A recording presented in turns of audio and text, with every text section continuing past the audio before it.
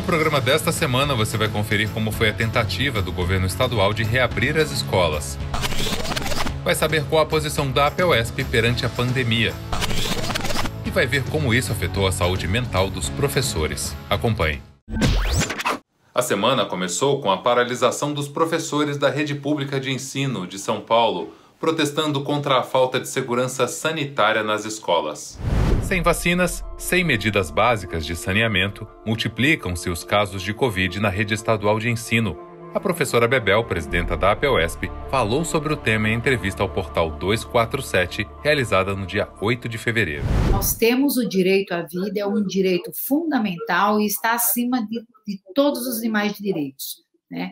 E muitos vão falar, mas por que, que você entende que está tirando o direito? Ué, quando nos coloca numa situação, Mauro, é, das condições das escolas públicas. Poxa, esse governador, esse secretário teve quase um ano para organizar o espaço, enfim, sabe?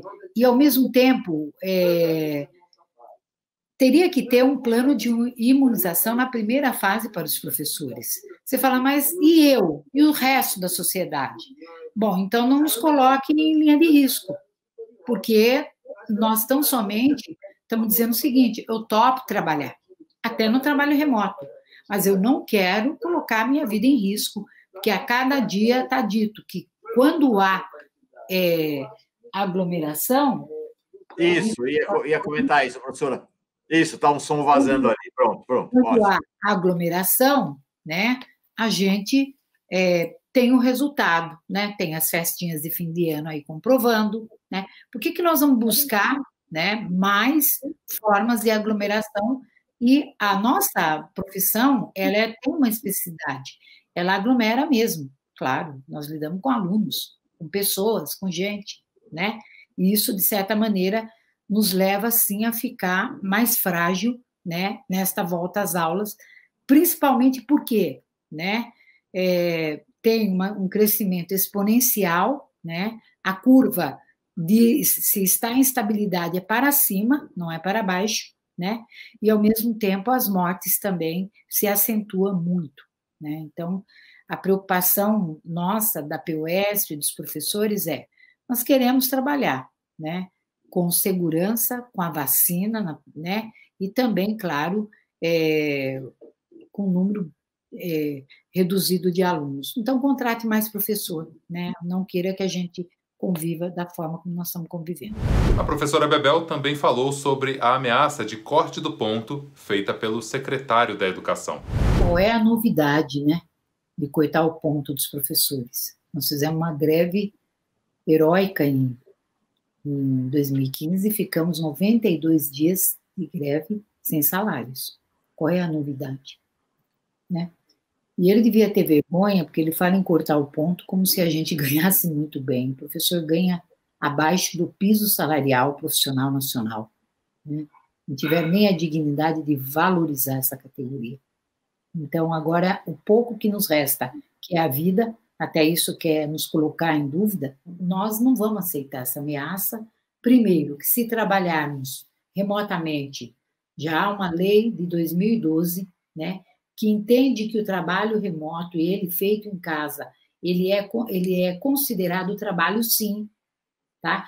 E num momento como este, que é um momento de excepcionalidade, nem eu defendo trabalho remoto, é de excepcionalidade, tá certo? Nós lutando, estamos lutando pela vida. A POSP veiculou um comercial na televisão aberta explicando à população os motivos da sua campanha pela volta às aulas com segurança para todos.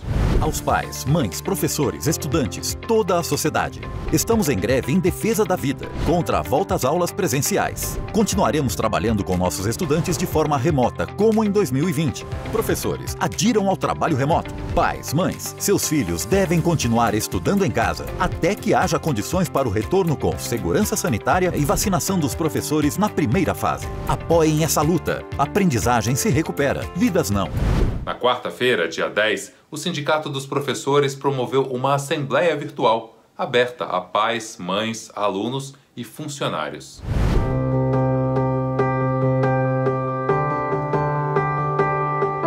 Participaram também integrantes de várias entidades de trabalhadores da educação que manifestaram sua preocupação com a pandemia e deram seu apoio à campanha em defesa da vida promovida pela APOESP. Todos concordaram em apoiar a greve como instrumento de luta contra a intransigência do secretário de Educação. As entidades que falaram aqui, as centrais, e, enfim, mandar para a imprensa. É um manifesto forte, contundente, né? Eu acho que a gente precisa mandar um recado e depois mandar para o palácio, mandar para o secretário. A gente pode levar para assembleias regionais e também, por exemplo, para a reunião da diretoria, lambe-lambe, faixa na frente das escolas, eu acho importante. Continuar com os carros de som. Eu acho que construir a mobilização permanente é muito importante também. Uma pesquisa promovida pelo Instituto TIM, realizada antes e durante a pandemia, revela que a saúde mental dos docentes melhorou em períodos sem aulas presenciais. Esses dados não refletem necessariamente uma boa notícia, porque é como se o trabalho nas escolas fosse mais danoso à saúde mental dos professores do que a própria instabilidade provocada pela pandemia. O que, que chamou atenção? Primeiro, chamou atenção esse nível muito alto de burnout nas escolas. A gente já esperava isso, a gente já esperava esse cansaço físico, esse cansaço emocional dos professores atrelado a algumas condições. Então, parte do trabalho foi identificar essas condições, nos surpreendeu o percentual de professores fazendo outras coisas, ou seja, nos surpreendeu o percentual de professores com salários atrasados em algum momento também. A gente esperava que isso existisse, mas esperava numa proporção menor. Uma outra coisa, do ponto de vista qualitativo, foi a, o volume, a altura da taxa de depressão que nós achamos. Nós seguimos um dos protocolos mais estabelecidos internacionalmente, chamado PHQ9, são nove perguntas. Normalmente, eles são até combinados com diagnósticos clínicos, e enquanto a literatura sugere, alguns estudos sugerem, que esse nível de depressão pode ficar entre 5% e 10%, no Brasil, nós tivemos 16,6%. Então, é um nível bastante alto. Se a gente pensar que dentro dessas respostas, eu ainda estou falando só meio qualitativamente, apesar de citar alguns números, mas que 14% das pessoas considerou em algum momento se matar ou fazer algum dano para si, a gente vê que é um nível de burnout com, ah, que leva ou combinado a uma questão de depressão severa. Isso também foi uma surpresa. Agora, a grande surpresa não foi essa. A grande surpresa foi descobrir, fazendo uma comparação entre o um momento lá em janeiro, fevereiro, até novembro, no final do ano, que com a pandemia, o burnout dos professores diminuiu, a saúde mental dos professores melhorou.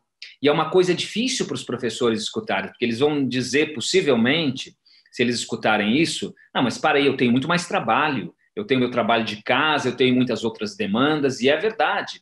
As condições não são boas de trabalhar, é verdade, a gente descobriu tudo isso. Mas essa combinação que dá esse cansaço emocional, ah, isso é diferente. Então, o que isso significa? Significa que é parecido com o meio ambiente. O meio ambiente foi assim: as economias pararam, o meio ambiente melhorou. É, da mesma maneira, quando a situação é muito ruim, e o que nós encontramos, para nossa surpresa, é que, em comparação a isso, é, melhorou assim a, a vontade das pessoas, a disposição durante o dia, melhorou, diminuiu até mesmo a vontade de morrer que é, um, que é um indicador importante. No próximo programa, nós revelaremos mais dados importantes dessa pesquisa e como mudar este cenário. Até lá! O Educação na TV de hoje fica por aqui, mas você pode rever este programa ou consultar os anteriores através do nosso portal ou das nossas redes sociais. Até a próxima!